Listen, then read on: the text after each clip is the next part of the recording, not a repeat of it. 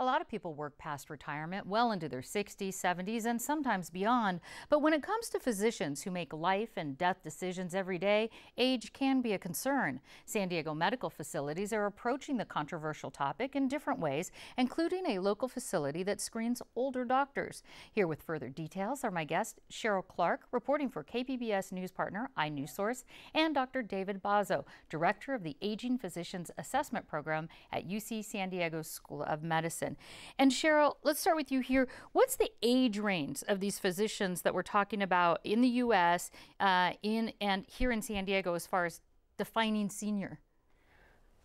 Well, I think we're talking about doctors who are, um, say, over age 65. Uh, some medical groups say mm, an older doctor is over age 70. Some are pushing it out to 75. So it's really all over the map.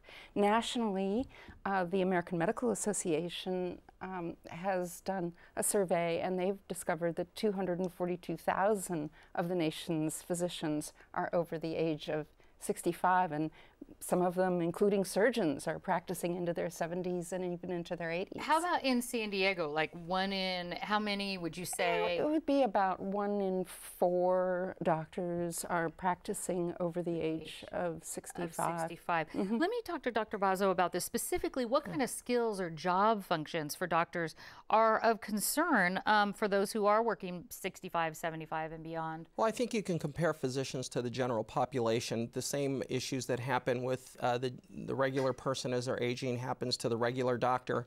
Uh, sometimes you slow down a little bit, your stamina may decrease, perhaps your fine motor skills might suffer a little bit, uh, your cognition may slow, and you actually may be more prone to having some cognitive deficits. You know, I forgot where my keys are, or perhaps even further than that, some of your analytical reasoning skills may start to decrease a little bit too. Well, I know the AMA recently, as you mentioned, Cheryl, uh, issued new guidelines to address this issue. Mm -hmm. And uh, you're actually working with this program, PACE, that screens older doctors. So, what do you screen? How does that work? Yeah, so uh, we, we actually were looking at health and wellness in kind of the broadest sense of the term. We're looking at uh, screening physicians' general health. We do a history and physical examination on them. We do two types of cognitive screening to look at their mental functioning. We uh, look at uh, depression screening, we look at anxiety screening, we look at substance abuse, and um, we actually get a little picture also of their practice and what they do, what kind of education they get, uh, how much vacation do they take, you know, what are their hours, how many patients per day they see, all of these things that might impact uh, a person's ability to practice. So that seems pretty comprehensive. Cheryl, what are doctors saying about the ones that you talked to about this aging issue and maybe even doing screening programs like this? Well, as you can imagine, it's all over the map. A lot of doctors I've spoken with, and I've probably interviewed at least 20 of them um, on this issue. Uh, some of them say, well, yeah, I, I, know some guys who shouldn't be practicing anymore, but I'm not one of them. Um, uh, they realize that there needs to be some way to address the issue. But a lot of doctors are very defensive about it, and they say, you know what, it's really other doctors, younger doctors, who cause a lot of the patient harm that we see in hospitals and ambulatory care centers.